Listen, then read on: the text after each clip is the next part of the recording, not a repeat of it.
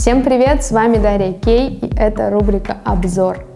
На обзор сегодня к нам попал бренд Stellary, и попал не просто так, не только потому, что он мне прислал косметику за участие в конкурсе, я попала в топ-10 или в топ-50, в общем, в какой-то топ, но в итоге я не выиграла поездку в Танзанию, что очень грустно, конечно же. Ну, еще то, что когда а, подруга у меня спросила, Даша, что ты будешь делать завтра, я говорю, буду делать обзор на косметику Stellary. Она говорит, что? Я говорю, на косметику Stellary. Она говорит, на какую косметику? Это какая косметика? Это что вообще такое? Я говорю, блин, ты что, не знаешь, что такое косметика Stellary? Она такая говорит, нет, вообще, типа, первый раз слышу. Я думаю, да, правильный выбор, надо будет сделать обзор. В итоге э, нуждается в особом представлении, и рекламные кампании не такие огромные, как, например, у адаптированных к России брендов L'Oreal. Собственно, из-за этого о них мало кто и знает. Мне надо несколько вещей для того, чтобы начать обзор. Кофе, кисти. Собственно, гвоздь программы — это чемоданчик, который мне отправили в честь выигрыша чего-то там. Я обожаю участвовать в конкурсе. Выиграла я, в общем, чемоданчик оказалась одной из тех, кому дали вот такой поощрительный приз. А, в общем, Стелла представлена в Магнит Косметик. Чемоданчик чисто для рыболовных снастей. Он легкий, что хорошо, если вы куда-то, допустим, с собой брать на вызов, так скажем, или на съемку, или просто, может быть, куда. Чемодан — это всегда хорошая и нужная вещь. Но прежде чем начать, я вообще бы хотела рассказать о бренде Stellary. И когда я сама о нем узнала, я на самом деле узнала сама-то о нем не так давно. Это было в ноябре 2017 года. Я тогда была в Кургане, решила пойти сходить в Магнит Косметик. Ничего нового там и интересного особо не нашла. Тогда еще не было даже бьюти-бомб. Заострила свое внимание на стенде Stellary, не зная тогда еще, что это за такой бренд. Реально, ну, в смысле, я не обращала внимания на него. Я не знаю, я не так часто заходила в Магнит Косметик. И только в прошлом году узнала, я серьезно, я не шучу. Те два карандаша, которые я показывала в макияже про Анджелину Джоли, коричневая или Джоли, все-таки разберитесь уже, как там вы хотите ее называть. Купила я от Stellary. И офигела на кассе, когда узнала, что они стоят там 120, там 150, что ли, рублей. Вот, это было приятное удивление. Вот так вот я и познакомилась с этим брендом. Собственно, после этого я ничего от него не пробовала. До этого года, когда я начала более активно заниматься косметикой, но все равно, оказывается, тут намного больше всего, чем я ожидала. И э, почему это интересно? Это интересно, потому что это дешево стоит, вы понимаете, да? То есть всегда бюджетная косметика хороша, и мы ее будем в любом случае сравнивать с чем-то дороже. Ну, без этого никак. Вот, э, начну с большого. Спонжики. Отложим. Дальше. Достану Сразу скажу, я связалась со Stellary и решила для обзора разыграть один такой чемоданчик. Для этого нужно просто оставить комментарий внизу под видео и поставить лайк этому видео. Все, для участия в конкурсе больше ничего не надо, так что если вы хотите участвовать, позже я расскажу о всех правилах, но вы можете поставить лайк авансом и оставить комментарий внизу, чтобы участвовать в конкурсе. В конкурсе будет разыгрываться этот чемоданчик с косметикой, которая мне нравится от Stellary. Сейчас мы все решим, определимся и разыграем его в конце, наверное, видео. Чисто ради интереса я, конечно, попробую его закрыть. Не, ну а вдруг сработает? правда делается-то, ё Слушайте, закрывается. Офигеть. Правда, такой сейф, конечно. Утащить можно. Офигеть. Вроде бы. Вроде бы офигеть. Я взломала эту систему. Ну, ключ это так, чисто на самом деле. Всем этим я планирую сегодня как бы накраситься. Карандаши, айлайнеры, все это сейчас сразу же в одну кучу сгребаем в разных оттенках. Кстати, я бы с этого и начала. В общем, один карандаш старой версии, он э, точится, и оттеночек у него красно-коричневый. Ну, я думаю, этот карандаш удовлетворит э, запросы всем нашим мамам. Кстати, текстура не совсем пудровая, она смешана немножечко с воском, поэтому он очень хорошо рисует. Вот, на другой стороне щеточка, чтобы расчесать брови. Им сегодня я пользоваться не буду. Это оттенок 300. Следующие карандаши механические, а это уже, я так понимаю, больше новинка. Под номером 3 Сейчас сделаю сводчи всех карандашей, карандашей, карандашов. Классический карандаш очень темный, вот этот оттенок. Я думаю, есть какие-то другие оттенки, но он рисует ярко, и для бровей это не необходимость. Четвертый оттенок похолоднее, повыше, третий оттенок более теплый, и сейчас я попробую нарисовать первым оттенком. Ой, да, вот это прям пепельный-пепельный оттенок. -е. Буду рисовать себе брови первым и четвертым оттенком. Грифель у него скошенный, что удобно для прорисовки бровей, напоминает корейские такие карандашики. Там очень любят рисовать прямые брови, и, собственно, для этого им нужен точный срез, чтобы не париться в прорисовке бровей. В Стелларе главным принтом является леопард, который они суют почти что на каждый свой продукт. На другой стороне пользуюсь щеточкой и вычесываю. Сейчас я рисую вторую бровь и буду использовать четвертый оттенок. У меня был карандаш для бровей в четвертом оттенке, и, если честно, мне он нравится даже больше, чем в первом. На руке цвет выглядит вот этот лучше. И как бы более приспособлен для того, чтобы рисовать брови. Он такой пепельный, немножечко с коричневинкой. А этот прям пепельный, холодный оттенок. Но им я могу нарисовать идеальные брови, потому что я его растушевываю, и получается оттенок, который прям под цвет моих волосков. Главное правильно растушевать. Я беру теперь четвертый оттенок и достаточно четко очерчивает брови, потому что мне нравится четкая форма, она сразу же контурирует мое лицо. Остановилась-то я на чем? На принте леопарда. Мне он не близок, сразу скажу, потому что он кичевый. Затея с леопардовым принтом очень опасная, потому что из чего-то кичевого и крутого это может перерасти в предвзятую дешевизну, потому что упаковка пластиковая, в принципе, на упаковку без разницы, но, естественно, приятнее, когда в красивой упаковке крутой продукт. Вот, но на первом месте, естественно, у меня стоит продукт, потому что в красивой упаковке говенный продукт, но это просто нереально этим пользоваться. Идем дальше, у меня есть несколько гелей для бровей, это прозрачный, и цветные. Прозрачные я пробовала. Правда, хороший гель для бровей не оставляет после себя, сейчас еще раз даже попробую, не оставляет после себя э, таких сопелек на бровях, что самое главное, и фиксирует средний бровик. Сильной фиксации не ждите, если у вас волоски пушистые, потому что пушистые волоски, как правило, фиксируются только цветными гелями для бровей с жесткой фиксацией. Оттенок 1 и 2. Буду на одну бровь, значит, использовать один оттенок, на другую другой. Все по классике. А, а тут щетка-то другая. Нифига себе. И похоже, это тот самый очень фиксирующийся гель для бровей. Ой, блонд, кстати, высветляет волоски. Офигеть, что он творит? Что творит этот гель? Блонд прям находка для тех, кто хочет свои армянские брови высветлить. И, естественно, можно это сделать со светлым осветляющим гелем для бровей. Не скажу, что это выглядит будет прям супер натурально, но на фотке будет классно смотреться. И иногда в жизни, например, на вечер. Если нейтрализовать брови, вот светлый гель 01 э, оттенок хорошо подойдет. Либо для блондинок. Я все-таки привыкла к классическому использованию геля для бровей, поэтому второй оттенок возьму. Да, и это прям мой цвет. Сейчас достаточно сложно идти по бровям, потому что прозрачный гель для бровей зафиксировал уже их, и я их как бы второ, вторым слоем прохожусь. Они стали более пушистые с этой стороны, с этой просто осветлилась и нейтрализовалась бровь. Если, например, я буду делать смоки, то наоборот не нужно использовать темный гель для бровей, нужно их нейтрализовать, чтобы смоки были акцентом, но брови как бы оставались на лице. И, и, и, и, и, и, э, э, э. Тональная основа. Это Matte Perfect Perfect. Матовый тональный крем, Super Cover. Я не знаю, вот Super Cover мне использовать или матовый тональный крем. Наносим на руку матовый тональный крем. Это у меня оттенок 202.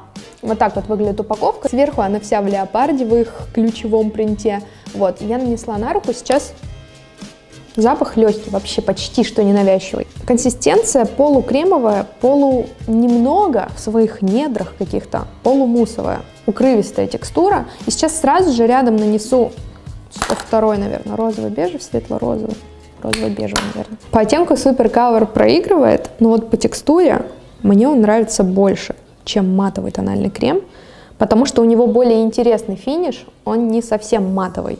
На лицо я буду все-таки наносить не матовый, а Super Cover тональный крем. Принт э, леопарда. Хорошо, что тут оттенки прям сразу же на крышке нарисованы, не нужно их искать, долго париться, и все написано по-русски. И смешая со 102 потому что один желтоватый, другой розоватый, я как раз добьюсь идеального цвета.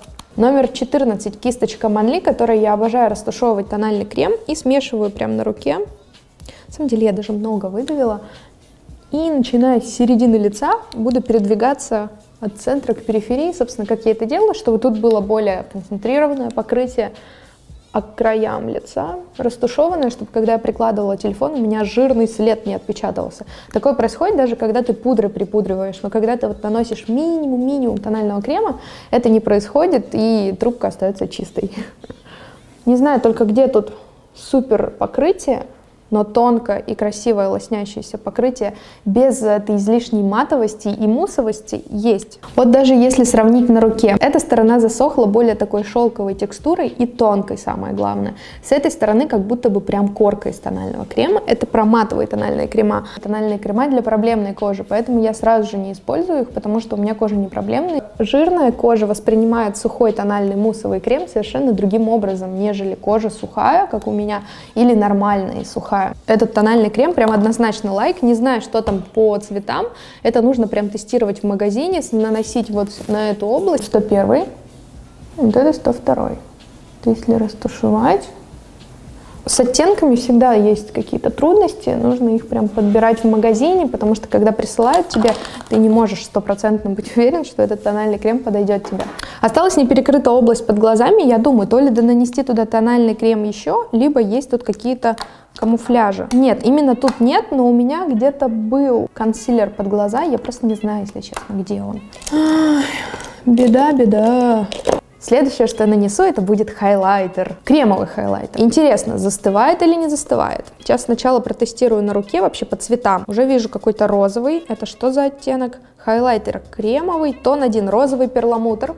Прям вот прям хорошая упаковка, никаких леопардов. Ну, леопарды это просто кич, и немного, не всем он нравится. Мне нравится минимализм, не возникает такого перенасыщения, когда у тебя много вот всяких...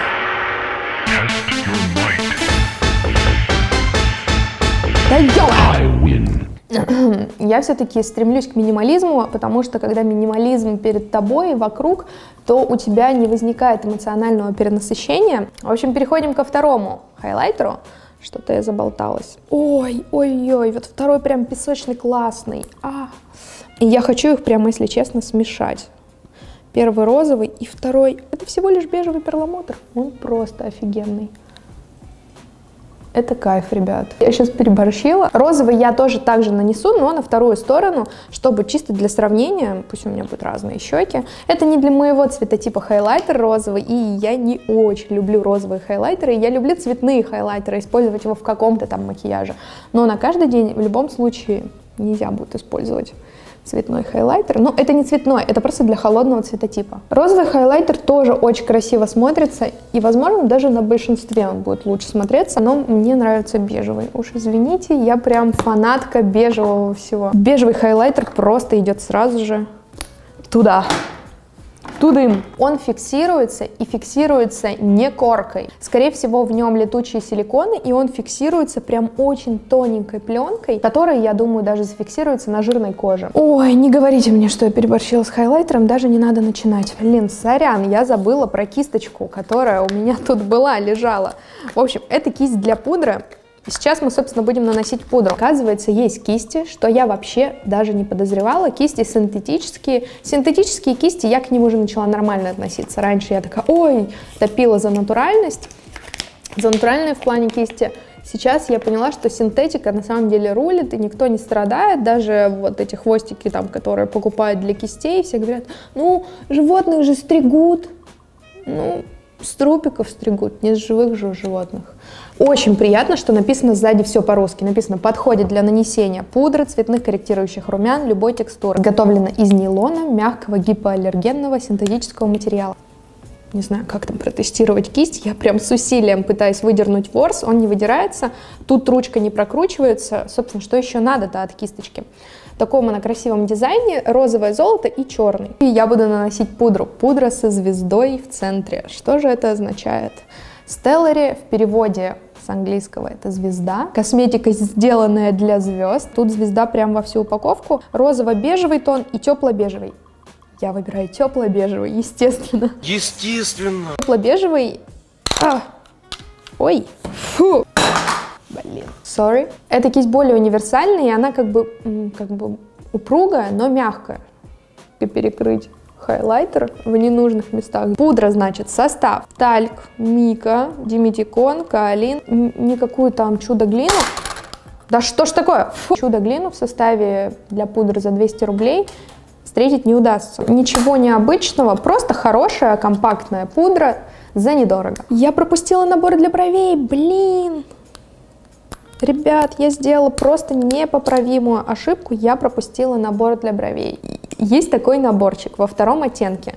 В нем есть мини-мини кисточка с мини-мини щеточкой. Инструкция, в которой написано, как использовать эту щеточку. Все написано по-русски. Аллилуйя просто. Создайте форму бровей щеточку, используя воск для укладки. Скошенной кистью нанесите тени для прокраски бровей. Поправьте и зафиксируйте щеточкой на руку, потому что ну ладно, нанесу на брови, что уж там. Нанесу на кончик бровки, и мне этим набором бровей удастся сделать четкую форму кончика, хвостика, чтобы он держался. Я сначала нанесу воск, а потом тенями зафиксирую. То есть карандашом это не сделать, потому что он просто-напросто слижется во время дня. А вот как раз-таки воск вместе с тенями будет долго фиксировавшись, зафиксировавшись, держаться на ваших бровях. Я набираю воск, снимаю сразу же на стекло, чисто мне так удобнее. Сейчас посмотрим, как ведет себя пудра.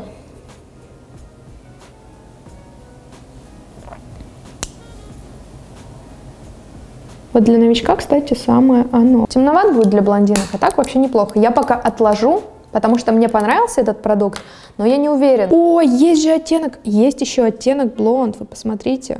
И это румяшки, румяшки с принтом леопарда. Но тут именно принт изображен внутри румян. Принт мне реально нравится. Оттенок называется бронзовый закат, румяна с принтом. Прям так, прям так и называется. Кисть не натуральная, но очень похожа на натуральную. И я беру немножечко этих румян, стряхиваю опять на крышку. Пробую нанести этим. Если не получится, у меня получается все-таки слабо. Просто не хочу промахнуться, если честно. Хочу сразу же взять большую кисточку. Собрать все эти румяна и нанести приятной большой кистью себе на скулу. Все румяна у меня какие-то абрикосово-таракотовые. Я прям не вижу себя с морозными щеками, ну прям не мое. Сейчас будет горячо, ребят. Это кремовые тени от Stellary. С задней стороны все написано по-русски, аллилуйя. Том четвертый. Все просто. Все понятно. Ой, тут еще защитная есть клейма. Еще одна защитная пленка. Офигеть. Это как же они хотят, чтобы тени-то их не высохли. Молодцы, классно. Сделано на внутренней теперь стороне. Ой, он красноватый, дуохромный оттенок. И сейчас мы проверим, фиксируются они или нет. Вот сразу же, оп, и две сняла. Вот потемнее. И фиолетовый цвет. Что же мы сейчас сделаем с этим фиолетовым цветом? Сейчас определюсь, что использовать, когда а, посмотрю, какие у меня еще есть карандаши для глаз. Так, у меня есть два карандаша для глаз. Это механический и обычный в дереве. В дереве пигментированный карандаш. Но мне не нравятся карандаши в дереве, потому что, например, когда я рисую по слизистой, может дерево царапать ту самую слизистую, либо с дерева сыпаться. Это не зависит, не всегда это зависит от цены карандаша, но бюджетный карандаш при его подточке может себя плохо повести, поэтому лучше брать механические карандаши бюджетного сегмента, либо те, которые в пластмассе. Так, и вот механический он явно мягче рисует. Я прорисую себе межресничное пространство этим карандашиком. Этим карандашом себе легко будет нарисовать стрелку, сразу же стушеванную. Чтобы рисовать им на слизистую, он не подходит. Хочу попробовать механический все-таки карандаш. Сколько будет он держаться, будет ли он фиксироваться, это мы не знаем. Но сейчас я нарисую себе на верхнюю и нижнюю слизистую этим карандашом и вернусь к вам. Я еле растушевала этот карандаш. Что первый, что второй карандаш плохо тянется. Не гелевой консистенции. Он прям такой карандашный, что ли. Я не знаю, как сказать. Пудра, смешанная с воском и, может быть, немножечко там чуть геля добавлено. Механически наносится на слизистую. Если вам нужен быстрый дешевый карандаш, можно его взять. Но именно на долгосрочную перспективу, конечно, его рассматривать не стоит. Но я себе сделала форму, по которой могу работать кремовыми продуктами. Я буду использовать цвет асфальта на все веко. Такой прям серый. Вот такой вот у меня серебристый глаз получился. В принципе, можно дождаться, пока кремовые тени застынут и ходить так. Но чтобы они не скатались, сейчас я хочу продублировать серебряный оттенок, который у меня есть на центре века, каким-нибудь из этой палетки, потому что у меня есть матовая. Она, мне кажется, прям хорошая для ежедневного применения. И во втором оттенке нюдовая с шиммерными и переливающимися тенями, который не знаю даже какой нанести. Наверное, на начало глаза, на центр я нанесу вот этот светлый оттенок на начало века. А на центр века нанесу самый темный оттенок. Вот этой. Я доделала глаза, все дублировала тенями из второй палетки. Если вообще сравнивать первую и вторую палетку, то вторая более универсальная. Тут есть холодные растушевочные, чтобы для складки века. Тут есть темный баклажановый оттенок. Им, в принципе, можно сделать растушеванную стрелку. Это классная палетка, но тут нет вот этих вот шиммерных оттенков, которые можно было бы сделать highlight, блик на веке. Так что я вторую палетку кладу в чемоданчик для розыгрыша. Что у меня тут еще остается? Ну, мне нужно, собственно, сделать ресницы. Тушь я буду использовать Stellary Wild Volume. Именно ее я сейчас нанесу на ресницы. Эта тушь мне нравится, и я ее положу в чемоданчик 100%. Она тоненькая, прокрашивает ресницы прямо от корней. И прям черная-черная. Автоматик браш. Снимите колпачок, вставьте в него ручку. А, все понятно. В колпачок, значит, вставляется эта кисточка, маленькая кисточка для губ. В Stellary есть кремовые и матовые помады. Кремовая помада абсолютно обыкновенная, можно ее растушевать на губы, на щеки, все такое, это все понятно. Меня интересуют помады матовые. У меня есть любимчик в этой линейке помад, это оттенок номер 11, очень сильно похожи по упаковке на тени Smashbox, вот, например, их упаковка, и совершенно с другим аппликатором, нежели чем у Stellary. Эти помады не фиксируются, но я сейчас нанесу тем образом, которым я обычно наношу эту помаду и люблю наносить. Я беру помаду, наношу ее на губы и, допустим, с руки нанести кисточкой. Кисточка сразу же растушевывает ее. И после всего нанесения я промакиваю салфеткой полностью губы. И в таком виде получается абсолютно натуральный и красивейший просто эффект и оттенок, это Stellary номер 11, я ее обязательно кладу в косметичку, в чемоданчик, но не останутся без моего внимания карандаши для губ, собственно, с которых в 2017 году я и начала знакомство со Stellary, поскольку все, что я люблю наносить на губы почти что в, оди- в одной и той же гамме, карандаш прям а, идеально подошел к той помаде, когда ее снимаешь салфеткой, остается тинт, который прям идентичен вот этому карандашу а, в 0,7 оттенке. Осталась у меня вот такая вот подводка с одной стороны и с другой стороны штамп со звездочкой. Я, конечно, расставлю себе сейчас в интересных местах звездочки этой штамп подводкой. Ставлю. А, фетровая подводка, черная, хорошая, пигментированная. Можно сейчас даже добавить небольшую стрелочку, но это не обязательно. У нас тут уже и так прям полные смоки. Спонжики.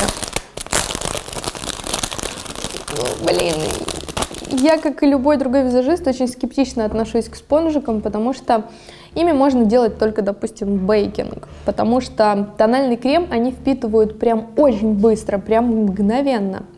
Я попробую их намочить, посмотрим, может быть, они разбухнут, как бьюти-блендер. Они увлажнились, но не стали бьюти-блендером.